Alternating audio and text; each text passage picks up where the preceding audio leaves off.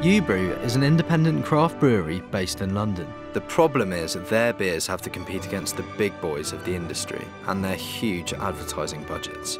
So how could they stand a fair chance against the competition? With a really very smart name. Responsibly, the beer all the other beers ask you to drink.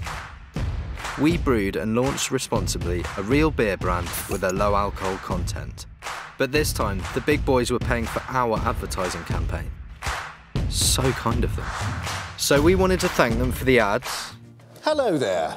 My name is Jeremiah Barney from Ubrew.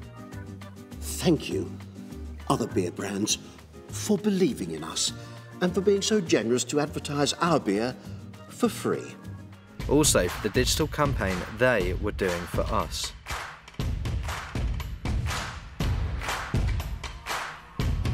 We even hijacked their YouTube ads with a pre-roll that didn't have to advertise anything at all. We don't want to waste your time advertising our beer, so the next ad will do it for us.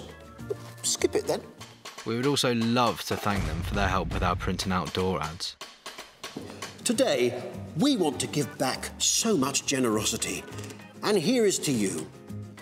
Drink, drink, berg, drink, Responsibly is a symbol of the revolution of craft breweries away from the big beer companies. But, in the end, it is a craft quality low alcohol beer that is promoting a way to drink responsibly. Very important to drink responsibly. I think it's very important to drink responsibly. Responsibly. Responsibly. We should drink more responsibly. So thank you all for supporting. Responsibly, the beer all other beers ask you to drink. And don't forget, always drink responsibly with moderation. Moderation, the low fat crisps that any beer brand asks you to eat.